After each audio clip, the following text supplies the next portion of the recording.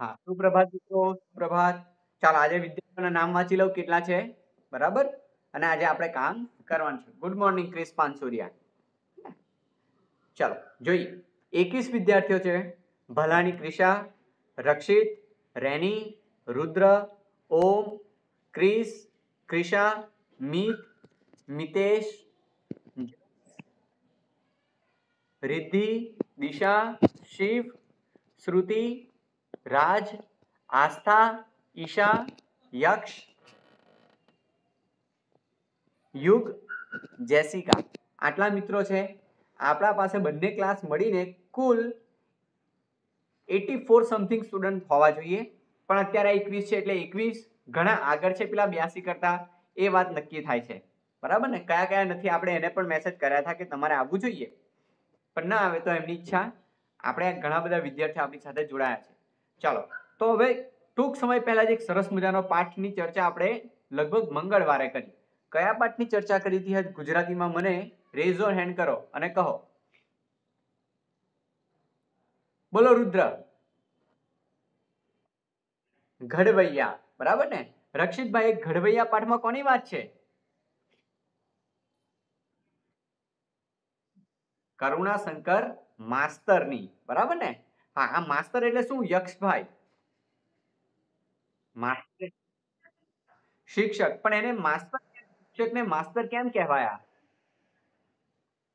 હા, બોલો. બરાબર? જે માના સ્તરે હોય એવું. બરાબર? હવે માના સ્તરે હવે હું શિક્ષક છું એટલે શું? હું માના સ્તરે પહોંચી ગયો? ના. જે માના સ્તરે જઈને ભણાવે ને, ત્યારે માસ્તર થાય. બરાબર? જે માના સ્તરે જઈને ભણાવે ત્યારે માસ્તર થાય. આપણે તો શિક્ષક છે. ચાલો, હવે વાત કરીએ કે કરુણાશંકરની વાત કરી. ગંભીરા ગામ આજે પણ એમને યાદ કરે છે. અને ગામના લોકો હજી ભૂલ્યા નથી. તો ભાઈ કેમ? તો કે ભાઈ કરુણાશંકર માસ્તર એવા હતા એના કારણે, એમના ગુણોને કારણે. અને તો તમે, તમને થતું હશે કે અમને કેમ આવા શિક્ષક ના મળ્યા? અમને કેવા શિક્ષક આવા નથી મળતા? અમને આદર્શ શિક્ષક કેમ નથી મળતા? એવું બધું. તો એના માટેનો એક નિબંધ મેં આજે આપને આપણે એ નિબંધ લખવાના છે. હું કેટલાક મુદ્દા તમને આપું છું. મિત્રો તમને મારો અવાજ બરાબર ધ્યાનથી સંભળાય છે ને? ઓકે. હવે જો હું એક સ્ક્રીન શેર સ્ક્રીન શેર કરું છું. એ ફરી પાછો ગ્રુપમાં ફોટો પણ મોકલીશ. તમારે શું કરવાનું છે? તમારે પોતાના વિચાર લખવાના છે. મારે ગાંધીજીના વિચાર નથી જાણવા. મારે વિવેકાનંદના વિચાર નથી જાણવા. મારે તો તમારા વિચાર જાણવાના છે. બરાબર? કે આજના સમાજમાં શિક્ષક કેવા હોય, તમારી દ્રષ્ટિએ આદર્શ શિક્ષક કેવા હોય, શિક્ષક પ્રત્યે સમાજની શું ફરજો હોય, અને તમારા શિક્ષક કેવા છે, અને તમને કયા શિક્ષક ગમે છે, કેમ ગમે છે, બધું તમારે શું કરવાનું છે?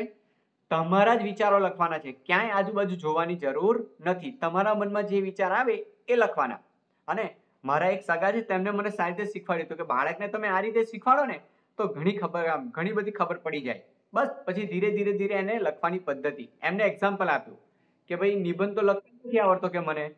એવું. ચાલ કે હું તને શીખવાડ્યો પછી એમને ઉદાહરણ આપ્યું. ચાલ, આજે વનસ્પતિ વિશે નિબંધ લખીએ. તો બસ, વનસ્પતિનું હેડિંગ માર્યું. પછી કે, હવે આવડતું જ નથી, શું લખવું? તો પછી લખ લખ, આવશે આવશે વિચાર. પછી વનસ્પતિ. તો કે, વનસ્પતિ એ આપણને ઓક્સિજન આપે છે. અરે વાહ, એક વાક્ય બન્યું ને? પછી કીધું, વનસ્પતિ આપણને ફૂલ આપે છે. અરે વાહ, બન્યું. વનસ્પતિ લાકડું આપે છે. વનસ્પતિ, મને ઘાસચારો આપે છે. ઘણું બધું ઘણું બધું કરતાં કરતાં ઘણા બધા વાક્યો બની ગયા. હવે આ ક્યારેય વાંચવાનું ના હોય, બરાબર? એને રટવાનું પણ ના હોય. તમારા મનમાં જે વિચાર ચાલે, એ વિચારને લખતા જવાના. હવે આપણે મોટા થઈ ગયા ધોરણ નવમાં આવ્યા, તો ક્રમશઃ એને લખવાના. એટલે તમને મુદ્દા આપું છું આજે. પરીક્ષામાં પણ મુદ્દા હોય છે. સમજાય છે ને મારી વાત તમને? થોડું ઉતાવળમાં જાઉં છું. પણ તમને મારી વાત સમજાય છે હા તો આપણે શું કરીએ? પરીક્ષાની અંદર પણ તમને મુદ્દા આપેલા હોય છે. તો એ મુદ્દાને ક્રમશઃ જવાનું કે ભાઈ, પહેલા તો મોટું હેડિંગ મારવાનું કે નિબંધ લેખન. નિબંધ લેખનની અંદર પછી કયો નિબંધ લખો? છો ત્રણ ઓપ્શન હોતા હોય છે કે બે હોય છે. તો જે નિબંધ લખતા હોય એ નિબંધનું ટાઇટલ મોટું રાખવાનું. અને પછી જે મુદ્દા આપ્યા હોય એ પહેલો મુદ્દો, તો એ મુદ્દો લખવાનો પેરેગ્રાફ વાઇઝ પછી એ પેરેગ્રાફ પૂરો થાય, બીજો પેરેગ્રાફ બીજો મુદ્દાનો. એટલે મુદ્દા અનુસાર તમારે પેરેગ્રાફ બનાવવાના અને પોતાના જ વિચારો લખવાના, લખ્યા કરવાના લખ્યા કરવાના. બરાબર? આપણે ક્યાંય આજુબાજુ જોવાનું નથી. એવી જ રીતે આજે સૌથી અત્યારે ધોરણ નવ સુધી આવ્યા. તો ધોરણ નવ સુધી આપના જીવનમાં તો કેટલા શિક્ષકો આવ્યા? શિક્ષકો વિશે કેટલું સાંભળ્યું છે? શિક્ષક દિવસ મનાવો છો? ગુરુ પૂર્ણિમા મનાવો છો? કેટલું બધું? એટલે ઘણું બધું જાણતા હશે. તો તમે જે જાણો છો, એ જ તમારે લખવાનું છે. તમારા મન પર જે પ્રભાવ છે, એ જ લખવાના છે. બરાબર ને? હેલો ઓકે ઠીક છે. તો હવે છે ને આપની સમક્ષ એક સ્ક્રીન શેર કરું છું. એ ફરી પાછો ગ્રુપમાં મોકલીશ. કઈ કઈ વાતો લખવાની છે તમે નક્કી કરજો. બરાબર? ચાલો.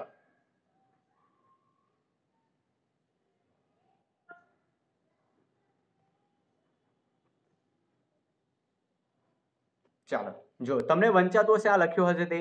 વંચાય છે ને? ચાલો, આપણે તારીખ પણ લખી દઈશું, ધોરણ લખશું, વિષય લખશું. આવું. હવે મેં મુદ્દા લખ્યા છે. પહેલો મુદ્દો, શિક્ષકનું મહત્વ. એટલે તમારી દ્રષ્ટિએ શિક્ષકનું જે મહત્વ હોય તે લખવાનું. ઘણી બધી, તમે ઉદાહરણો લખી શકો, અંગ્રેજીના પણ લખી શકો અને ગુજરાતીના પણ લખી શકો. લખી શકો. બોલો. હલો. શું છે? આની અંદર જો મુદ્દા આપ્યા છે એ મુદ્દા અનુસાર તમારે લખવાના પહેલો મુદ્દો છે શિક્ષકનું મહત્વ એટલે કેમ મહત્વ છે તમારી દ્રષ્ટિએ લખવાનું બરાબર શિક્ષકનું મહત્વ કઈ દ્રષ્ટિએ છે એ તમારી તમારે પોતાના વિચારો લખવાના તમે ઉદાહરણો લખી શકો છો જેવી રીતે શું ચાણક્યનું ઉદાહરણ લખી શકો છો કયું કે શિક્ષક કભી સાધારણ નહીં હોતા પ્રલય उसके ગોદ में પલતે हैं એ બરાબર? તો તમે બીજા ઉદાહરણો લખી શકો છો. પછી આપણે આજની વાત કરીએ તો કે માસ્તરની વાત કરી. જે માના સ્તરે સુધી, માના સ્તર સુધી જેને ભણાવે તે શિક્ષક. જે માના સ્તર સુધી પહોંચે તે શિક્ષક. એવું આવે. માતૃદેવો ભવ, પિતૃદેવો ભવ, તો આપણે ગુરુદેવો ભવ પણ માનીએ છીએ. એવી બધા ઘણા બધા સ્થાન લખી શકો. પછી શિક્ષકનું સમાજમાં સ્થાન. એટલે પછી તમારે ધીરે ધીરે તમે જે રીતે સમજતા હોય એ રીતે લખવાનું. તો આપણે આવ્યું કે અને ગુરુદેવો ભવક આપણે માતા, પિતા અને પછી સીધું ગુરુનું સ્થાન આપીએ છીએ. હે તો એ બધું ધીરે રીતે તમારે લખવાનું. પછી તમારા વિચાર લખવાના કે તમારી દ્રષ્ટિએ આદર્શ શિક્ષક કેવા હોય? જો ત્રીજો મુદ્દો છે, નવા પેરેગ્રાફમાં લખવાના હોય, તમારી દ્રષ્ટિએ આદર્શ શિક્ષક કેવા હોય? એટલે તમારે લખવાનું કે ભાઈ આઈડિયલ ટીચર કેવા હોય? તો કે ભાઈ, એમના કાર્યોથી જે મહાન બને, એમના ગુણો કેવા છે, એમનો સ્વભાવ કેવો છે? એ બધું તમારે યાદ કરી કરીને લખ્યા કરવાનું. કે આ રીતે ભણાવતા હોય, એ આવું બોલતા હોય આવી રીતે કામ કરતા હોય, એમનો સ્વભાવ આવો હોય, બધું તમારા મનમાં જે રીતે આવે એ લખ્યા કરવાનું. શું ઇમેજિન કરવાનું છે કે તમારી દ્રષ્ટિએ સારા શિક્ષક એવા હોય, એની વાત. પછી વાત આવી તમારા પ્રિય શિક્ષક. એટલે કોઈને કોઈ તો તમારા જીવનમાં તમને ગમતા શિક્ષકો આવ્યા જ હશે, તો એના વિશે લખવાનું, એમનું નામ, એમનું પરિચય અને એ કઈ શાળામાં છે. બરાબર? અથવા તો કઈ શાળામાં હતા, જે હોય તે. તમે ધારો કે પાંચમામાં ભણતા હોય અને તમે કોઈ બીજી શાળામાં હોય, તો એ પણ હોય. જરૂર નથી કે આપણી શાળાના જ હોય. બરાબર? ચાલો, તો એ તમારા પ્રિય શિક્ષક તમે એવું લખશો. અને પછી એ તમારા પ્રિય કેમ થયા?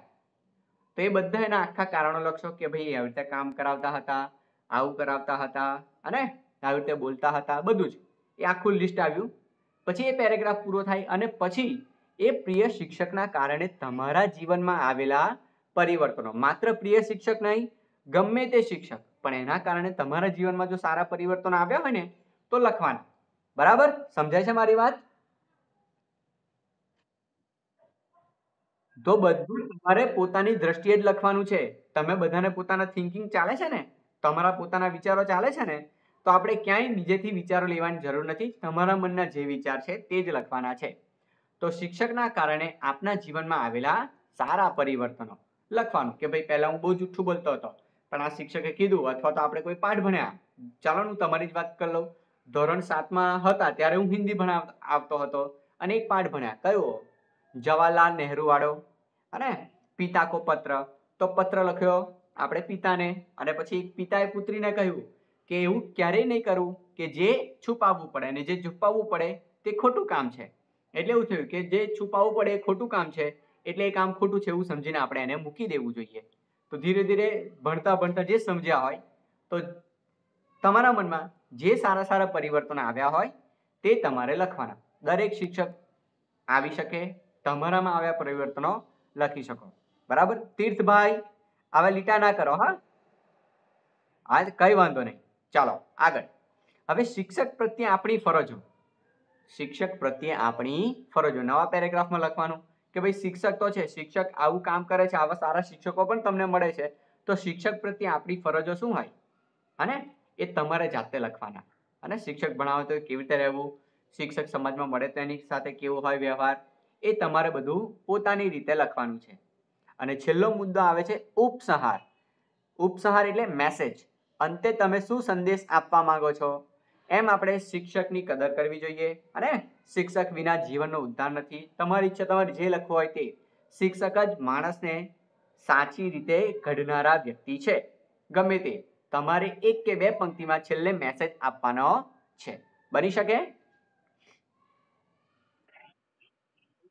જો.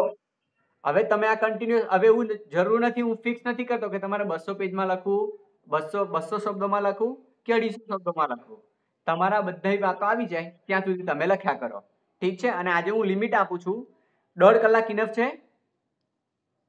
આના પછી મારો જ ક્લાસ આવતો હોય. આપણે એક કલાકનો સમય આપીએ. તમારે મને બાર વાગ્યા, બાર વાગે, બારથી સવા બાર સુધીમાં મેં આ બધા નિબંધ લખીને જમા કરાવવાના છે દ્વારા. બરાબર? એકથી વધારે પેજીસ હોય તો પીડીએફ ફાઇલ બનાવજો. એકથી વધારે પેજીસ હોય તો પીડીએફ ફાઇલ બનાવજો. અને તમે એવું કરજો, અહીંયા કેવું મેં નિબંધ લેખન લખ્યું છે? તો કોર્નર ઉપર એ પીડીએફની અંદર અથવા તો એ પેજ ઉપર તમારું નામ લખી લેજો, કે ધોરણ નવ, અ કે બ, અને સાથે તમારું વિદ્યાર્થીનું નામ. એટલે ખબર પડે કે આ વિદ્યાર્થીનો નિબંધ વાંચી રહ્યો છે. બોલો. પણ બેટા, એવું છે કે પછી મને ખબર નહીં પડે કે આ આ પેજ બધાના ભેગા થઈ જાય ને એક પછી એક એક પછી એક, એવું બને.